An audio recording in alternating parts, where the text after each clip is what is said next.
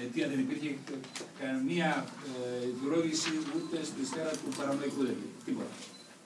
Ω εκ τούτου λοιπόν θεωρώ ότι δεν έπρεπε σε καμία περίπτωση να, να γίνει αυτό που έγινε και προφανώς έχει στόχους τους οποίους θα τους ε, δούμε. Είμαι σίγουρος να δηλώσω γι' αυτό ότι η υπόθεση θα, θα ξεκαθαρίσει, θα βρούμε ποιοι είναι οι έμακοι. Έχω απόλυτη εμπιστοσύνη στην δικαιοσύνη και στην αστυνομία της περιοχής και πιστεύω ότι θα βρεθεί σε σύντομο χρονικό διάστημα. Όμως, ε, εκείνο που πρέπει να πω είναι ότι σαν Δημοτικό Συμβούλιο, εμείς και φαντάζομαι όλοι, δεν πρόκειται να δεχτούμε τέτοιου είδους απειλές, τρομοκρατήσεις και τρομοκρατικές επιθέσεις, προκειμένου να αλλάξουμε τον ρου, την πορεία μας και τη φιλοσοφία της λήψη αποφάσεων. Δεν μπορεί να, ο καθένας να ερμηνεύει και να θέτει τις αποφάσεις στα μέτρα του και με αυτόν τον τρόπο δρώντας να επιχειρεί να αλλάξει τον τρόπο λειτουργίας ερετών οργάνων που ασχολούνται με χίλια δύο προβλήματα της τοπικής κοινωνία σε καθημερινή βάση, όντας στην πρώτη γραμμή της καθημερινότητας των προβλημάτων της τοπική κοινωνίας.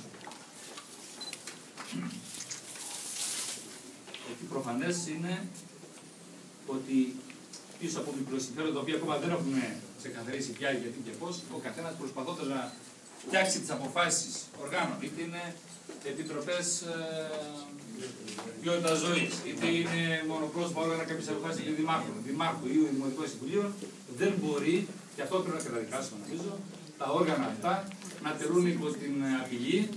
Και μάλιστα να πω ότι σύμβουλοι να πηγαίνουν 100 χιλιόμετρα μπορεί να κάνουν τα έξοδα κίνησή τους για να πάρουν μια απόφαση για μια πεζοδρόμηση, μια μονοδρόμηση ή οτιδήποτε άλλο είναι, που είμαστε διαχειριζόμαστε αυτά και να ξέρουν ότι με την απόφαση που θα πάρουν και την ψήφο που θα δώσουν θα κινδυνεύουν τα παιδιά τους, η ζωή τους, η περιουσία τους Αυτό νομίζω αφορά την αυτοδιοίκηση, δεν αφορά μόνο εμένα και αυτό νομίζω θα πρέπει να το καταδικάσουμε όλοι. Και θα πρέπει να θωρακιστούμε. Το μεν θέμα της ε, διαλέπτανση της υπόθεσης αφορά ξεκάθαρα την αστυνομία και την δικαιοσύνη. Και ξαναλέω, θεωρώ ότι είναι σε καλό δρόμο και έχω εμπιστοσύνη. Όμως υπάρχει και το θέμα της θεσμικής θωράκιση της λειτουργίας μας και γι' αυτό ε, να πω και εδώ, δεν ξεκίνησα να το ανεβάσω, να το πω έτσι, να το κλέψω τη φράση στα κανάλια, γιατί θα μπορούσε εύκολα ένα τέτοιο θέμα να πάρει και άλλο δρόμο.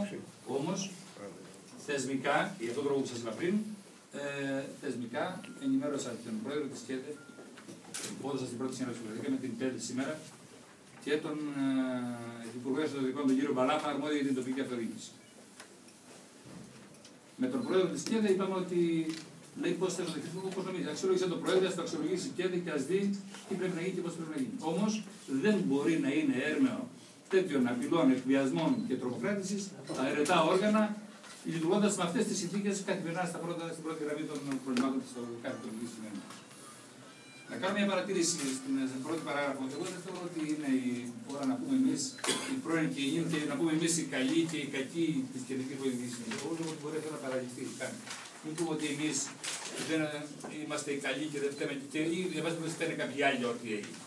Για να αναφορά στην κεντρική πολιτική συνέχεια. Μια παρατήρηση λέω σε όλους, αν για την παράγραφο που λέει. Δεν έχουμε λόγο να κάνουμε τέτοιο.